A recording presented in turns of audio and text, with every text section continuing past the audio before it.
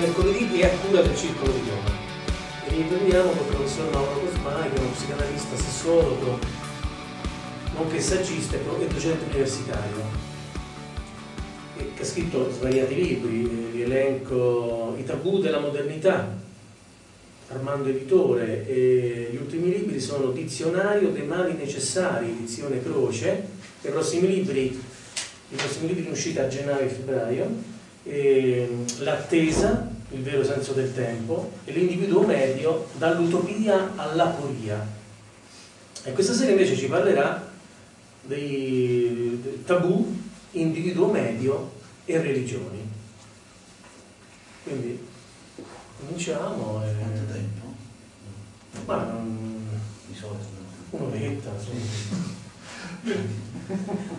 non c'è, non c'è limite. Non, c'è, non c'è limite. Non c'è limite. Di solito siamo sui 30. E poi naturalmente chi vuole intervento di... Cioè, poi intervento, ma, ma anche meno.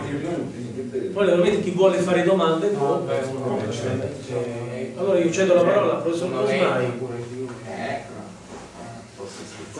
che inaugura questo nuovo ciclo di incontri del Circolo di Roma, dell'UAR. Allora, grazie. Allora, niente, faremo una, una breve conversazione, una carrellata su quello che riguarda strettamente i rapporti tra individuo medio, inteso per individuo medio la persona che eh, la natura non ha dotato di particolari qualità a livello di materia grigia e questo non è scandito certamente da titoli di studio da altro, ma semplicemente dalla capacità o meno di non volersi adeguare e di voler riuscire a, che poi il, il tema del libro, non entrare in cosiddetto gregge, cioè l'individuo medio può non esserlo nel momento in cui, per esempio, senza tanti paroloni, si rende conto di essere un individuo medio cioè si rende conto, come tutti dovremmo renderci conto, dei nostri limiti. Nel momento in cui si rende conto di questo e cerca di capire, non è già più un individuo medio, anche se non ha titoli di studio, anche se ha delle capacità limitate. Perché? Perché raggiunge per certi versi, lasciatemelo passare, il, il, il, il grado, la posizione della saggezza, che non è patrimonio soltanto, o non lo è affatto, di soloni e professoroni che spesso passano il tempo più che altro a piccoli giochi di potere, ma è la persona che si rende conto dei propri limiti. La nostra forza è la conoscenza dei nostri limiti, questa è la nostra forza. La nostra certezza è quella di non avere certezze. Tutto il resto sono costruzioni umane che da sempre infiorano la nostra esistenza e che permettono appunto a questi individui medi di prosperare e di eh, pascersi, di vivere, di, di continuare a, a, muoversi in questa realtà accettando tutto quello che viene imposto. Le religioni in questo senso hanno un preciso scopo, dire all'uomo quello che deve fare, chi è, qual è il suo positioning nella vita e quindi tutto va bene. L'individuo non medio è quello che pur vivendo in una realtà, come tutti noi siamo qui, però non accetta, non accetta che gli vengano imposte delle regole, delle costruzioni umane, delle situazioni evidenti, delle assurdità, dei tabù, delle superstizioni e quant'altro, l'elenco infinito è inutile che io ve lo. Naturalmente ci sono anche individui medi tra persone che hanno successo, quindi persone che hanno comunque eh, potere, notorietà, però queste persone possono essere anche medie nel senso che si adattano perfettamente alla condizione di medietà, lasciatemi passare questo termine, oppure sono quelli che io chiamo individui finti medi, cioè individui che accettano, si conformano, si, si, si plasmano, si adeguano a quella che è una realtà, pur capendola perfettamente anche nelle sue assurdità, proprio perché è l'unico modo che hanno di poter avanzare, di poter avere il plauso.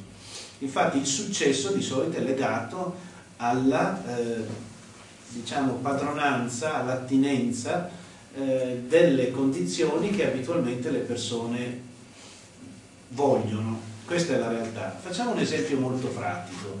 Eh, non per citare il caso personale, immaginatevi io a un congresso, faccio il sessuologo da oltre 35 anni, vado a un normalissimo congresso e dico il profilattico qualche volta però va giustificato. In effetti qualche volta l'uso del profilattico potrebbe essere giustificato. Mi guarderebbero come un pazzo. Direbbero ma questo si sta prendendo in giro oppure è fuori di testa è una cosa talmente ovvia, mm-hmm. o come per esempio poter dire guardate che la masturbazione fa parte del naturale, detto proprio in parole, del naturale percorso della nostra esistenza, della conoscenza del proprio corpo, delle sue reazioni, semmai vi dovreste preoccupare di un figlio che non si masturba, non di un figlio che si masturba. Se dicessi queste due cose a un congresso di sessuologia normale, mi guarderebbero con gli occhi fuori da lei e direbbero è impazzito, proprio le cose che viene a dire, è ovvio che, che sia. Se invece viene detto da un'altra persona, allora ecco, è la famosa teoria dell'ipse dixit, come io ho già spiegato in un altro libro di diversi anni fa. Se viene detto invece in un altro contesto, allora si parla di progressismo, di apertura, di...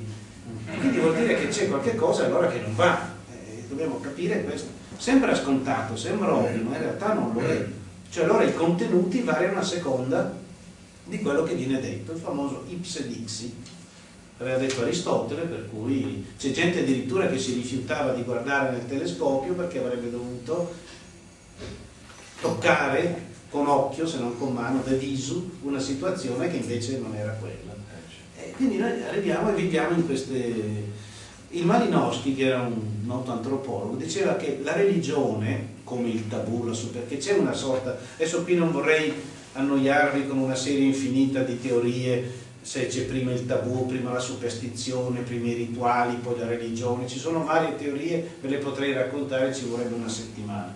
Diciamo comunque che più che i tabù, i rituali, le superstizioni insorgono, e forse non quando il nostro sforzo di conoscere risulta vano, quando l'uomo si accorge che non riesce a capire, a penetrare, a comprendere, a spiegarsi qualcosa, allora ha bisogno di. Invece i neuroscienziati, i cultori delle neuroscienze, invece propongono invece una parte di noi, un biochimismo, scusate la grossolanità dell'esposizione, che invece fa sì che alcuni abbiano bisogno del trascendente e altri no. Però è tutto da dimostrare questo, è tutto da vedere. Quando c'è questo fallimento dello sforzo conoscitivo, noi ci rivolgiamo al trascendente, al soprannaturale. E quindi creiamo tutta una serie di situazioni.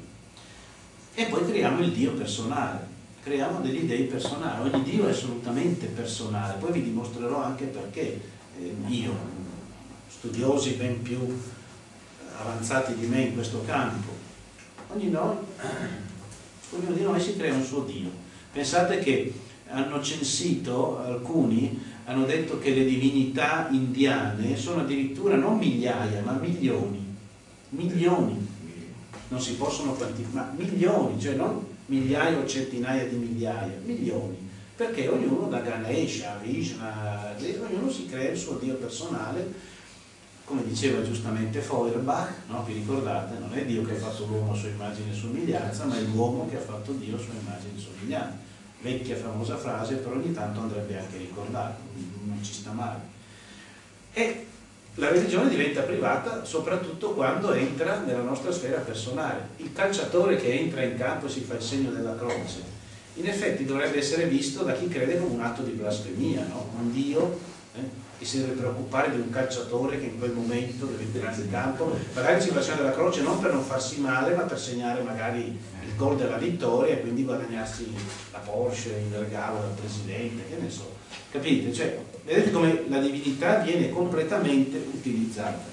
Il tabù è una sorta di preparazione alla divinità. Quel qualcosa che non viene utilizzato, quell'oggetto, quel luogo, quella situazione, quel comportamento, è un qualcosa che sfugge alla nostra conoscenza. Lo si fa ma non si sa bene perché poi se studiamo antropologicamente possiamo vedere tutti i vari significati, tutto il processo di causa-effetto, eccetera, eccetera. Però sta di fatto che ci imponiamo qualcosa, per esempio il tabù occidentale è il tabù sessuale. Quindi per noi è molto importante, tutti noi ce ne portiamo ancora le cicatrici, ha una sua funzione ben precisa, perché, mentre in altre, in altre eh, culture, per esempio, non so, in Guinea eh, ci sono delle tribù dove per esempio c'è una capanna centrale dove i ragazzi quando cominciano a essere preadolescenti e adolescenti vanno lì e si accoppiano, si incrociano per imparare il sesso, perché per loro poi magari hanno un altro tabù, non possono entrare in, quella, in quel cerchio magico, non possono salire sulla collina, toccare il totem di pietra, però quel tabù non esiste, cioè loro, per loro è normale, imparano, conoscono il proprio corpo, quindi noi siamo anche vittime come individui medi dei tabù che di volta in volta ci vengono proposti e che, non dico niente di nuovo, eh, hanno dei precisi scopi, hanno delle finalità ben precise che riguardano appunto l'assoggettamento e anche la necessità. In fondo se guardate bene anche i contenuti stessi delle religioni hanno delle precise funzioni anche in rapporto alla sociogeografia. L'Islam ha delle, delle regole, delle, delle, delle ipotesi, delle sue sure ben precise che sono a livello delle persone che le devono comprendere, no? nel senso che non devono fare questo, non devono fare quello. E noi invece non so nell'Occidente, il cristianesimo ha creato una serie di regole che vanno eh, dalla, eh, dal rispetto di certe cose al tabù, a, tabuizzarne altre. Poi come già ebbe modo di, specificare Kant, ma anche prima di lui, ma Kant in particolare, spiegò che l'errore principale è quello di confondere la religione con i rituali.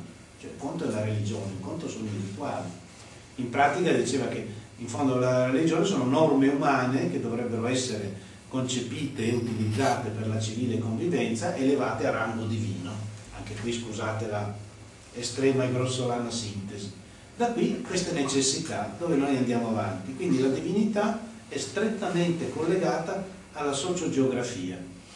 Pensate persino anche il Vecchio Testamento, se voi leggete il Vecchio Testamento, la religione degli ebrei, in effetti se noi dovessimo farlo leggere a una persona estranea a questa realtà terrestre, dove vede un Dio che si allea con quello, si incavola, si offende, eh, sceglie un popolo, ordina di sterminarne un altro, e viene visto come divinità, se fosse là, direbbe ma qui siamo nella follia pura, direbbe. C'è poco da fare. Cioè, può essere concepibile un Dio anche avendo rispetto del concetto di Dio, un Dio che si allea con uno, prende in antipatia l'altro, privilegia un popolo rispetto a un altro. Cioè, qui, vedete come il respiro umano purtroppo, eppure noi accettiamo perché? Perché la maggior parte delle persone che ci circonda sono individui medi e quindi come tali hanno bisogno di... Una volta che mi ricordo parlavo con uno e dissi ma guardi che lei adesso è nato qui quindi è cristiano, va benissimo, ma se fosse nato nel Borneo, se fosse nato a Kyoto sarebbe shintoista adesso. O se fosse in Guinea sarebbe animista o in un'altra parte non saprebbe magari manco che... cosa mi ha risposto? Meno male che sono nato qui allora ed è riuscito a lasciarmi di stucco, cosa abbastanza difficile. In effetti, meno male che sono andato qui. Cosa, cosa si può rispondere da adesso? Che lascia lasciarsi di stucco? Eh, non si può... ha, dato, ha, dato, la risposta sì, appropriata sì. all'individuo medio, no? che definiva. Stucco nel senso che no, non me l'aspettavo. Ah, così repentino. Così, eh, eh. E quindi questo Dio diventa poi un grande uomo, diventa un uomo con tutte queste componenti che è inutile che vi spieghi perché poi la letteratura sull'argomento è vastissima. E... Però quello che è importante sottolineare è che nel momento in cui le religioni entrano, come succede da noi, no? dove un certo tipo di religione vuole entrare prepotentemente nella vita sociale, il che non può essere accettato, allora in questo caso si può parlare di anticlericalismo, perché semmai si potrebbe dire, possiamo essere aclericali, non c'è quasi mai il livore del non credente nei confronti del credente e viceversa invece il livore che spesso ha il credente quasi sempre nei confronti del non credente. E come ce lo spieghiamo? Perché questo va a rompere, ovviamente lo sapete già, va a rompere certi pseudo equilibri.